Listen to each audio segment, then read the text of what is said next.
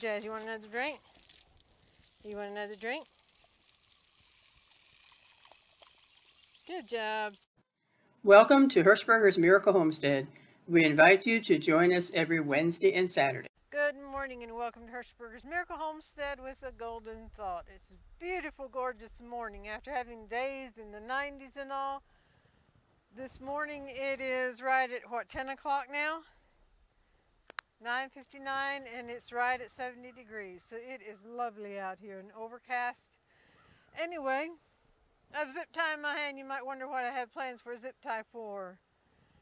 We had a tomato plant that was planted in a small container and I've learned it needs a bigger container because we've had a lot of wind and this container has blown over and blown over and blown over. The strawberry barrel there was beside that and I don't know how many times it blew over into the strawberries or back onto the beans or just missed it all and blew over.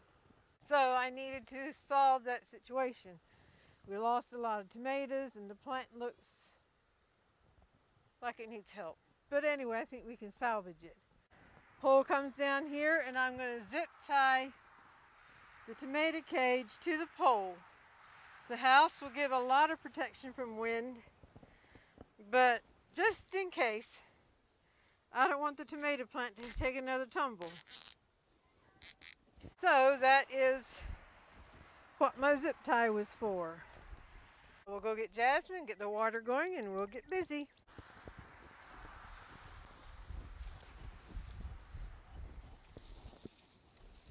Right over this way, Jazz. Uh-huh.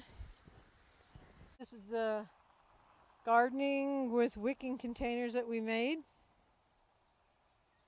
There's corrugated piping in the bottom, which creates a water reservoir. And it does great in helping the uh, plants have water during the heat of the day. We go this way, Jazz. Where are you going? Oh, you getting a drink? Okay, get a drink.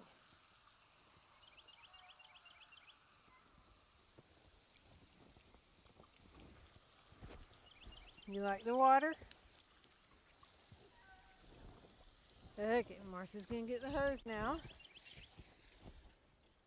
You have to water this one. Wait.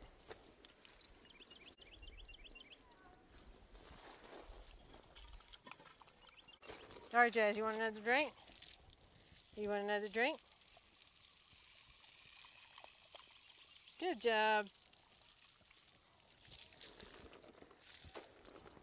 I didn't think you were very thirsty. Okay, here's another one. This row here, these are lima beans here that I'm watering. Okay, I have one more over here. Okay, Jazzmin, let me fix the leash. You got tangled up in your leg. There you go. Good girl. Water this tomato plant now.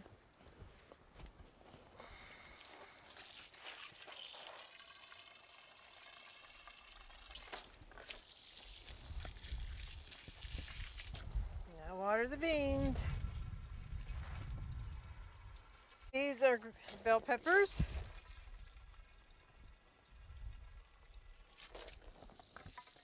This is a banana pepper and it is not wicking so it's water from the top.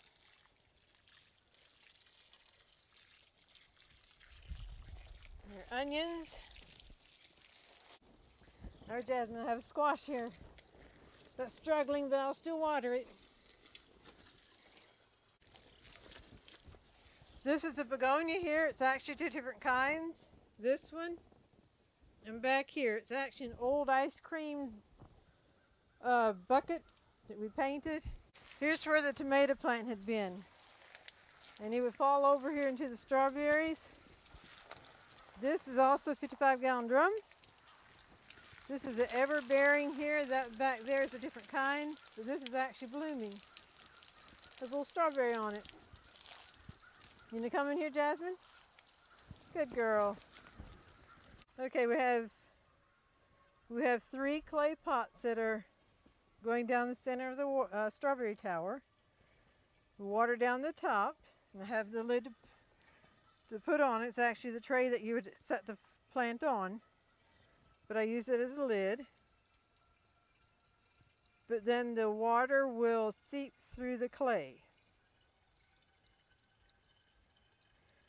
And then it's just my idea, I always water a little bit from the top too because as the water goes down, the bottom plants will get moisture, but not the top. That's just my thinking.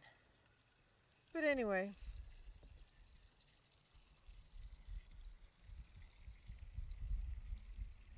we'll have to see then what time to. Here it comes.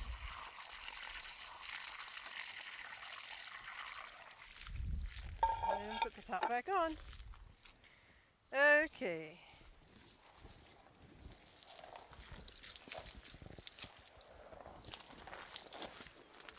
We have bell peppers here. Let me get this tighter hold on the leash so it doesn't.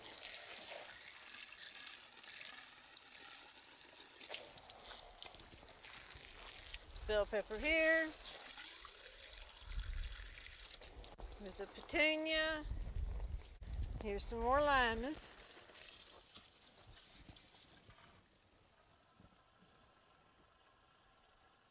Okay, down here's another wicking.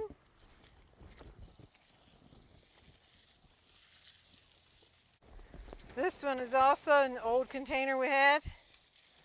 So it's water from the top.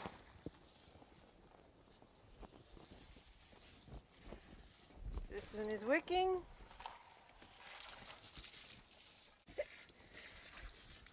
Needless to say, it's easier without a dog in your arm, but I like my dogs. This is also part of the green bean family that we got the 31 quart from. Wicking. Let me see, Jazzmin. There we go. And these are some pretty zinnias. The container isn't really deep enough. So we thought, well, we'll put them in once, see just what happens. And, and at least we have flowers. But this, when we cut the barrels out there to plant the lima beans in, we wanted plenty of dirt for, because we didn't know what we were going to put in the barrels. We cut the barrel about a fourth of the way down, so this is a shallow end of that barrel. But hey, they're beautiful flowers. Here's another strawberry barrel that we fixed. And get the lid off. Into the season, the company put strawberry plants on sale. And these are supposed to come back year after year. So we went ahead and got them and plucked the blooms as they were blooming to, so the energy of the plant can go into the plant. And this is what we have. And as runs are coming along, we put it in empty slots. So hopefully we can have a barrel full of strawberries till next spring. I can see it.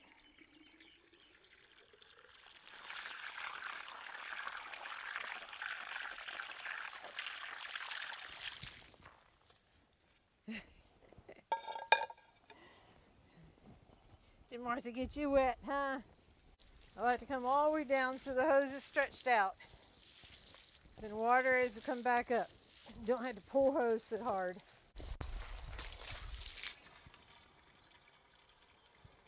These are the contender green beans. All along the house was contender green beans. We have bell peppers.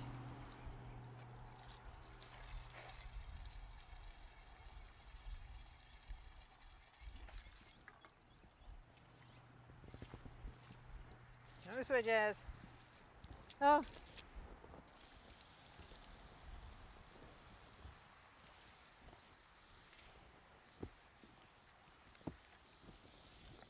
Okay, Jazz. Here beets. There again, this is the shallow end of the big barrels. And we knew it's probably a little bit too shallow for beets, but we thought, well, we won't know until we try.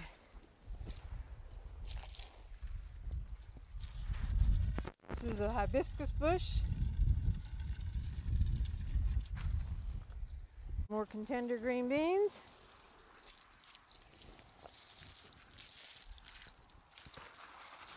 One more Jazzmin, then I think we'll be done.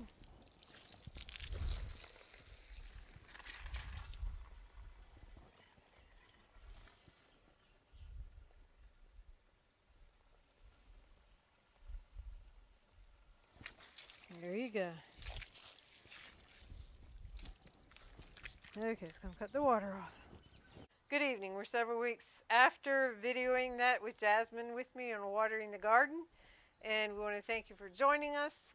Um, she was not with me for everything. Behind us are sweet potatoes and red potatoes. And we have cucumbers down that way and on the porch are flowers.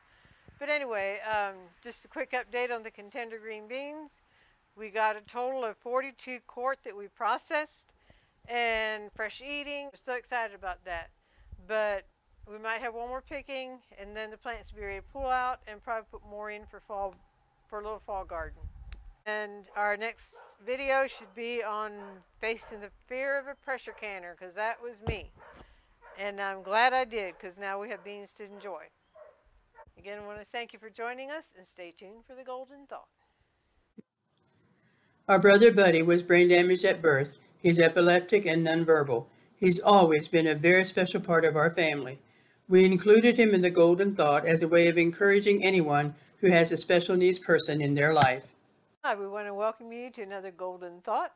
And I am Martha. This is my very special twin brother Marvin, better known as Buddy.